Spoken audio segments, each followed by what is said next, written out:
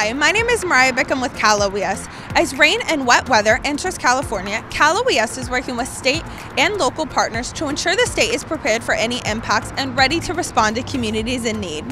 Winter weather has potential to bring rain, snow, and other impacts. It's important to be prepared for all types of weather and changing conditions.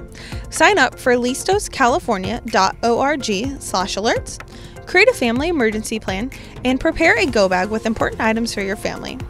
Before hitting the road this weekend, Cal OES is urging drivers to be safe and think about these important steps.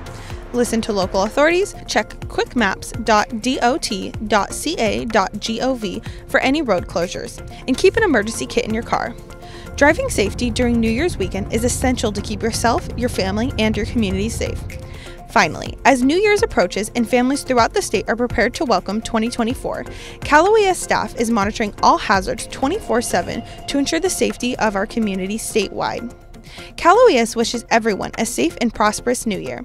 To learn more from us, visit news.caloes.ca.gov and follow us on all of our social media platforms.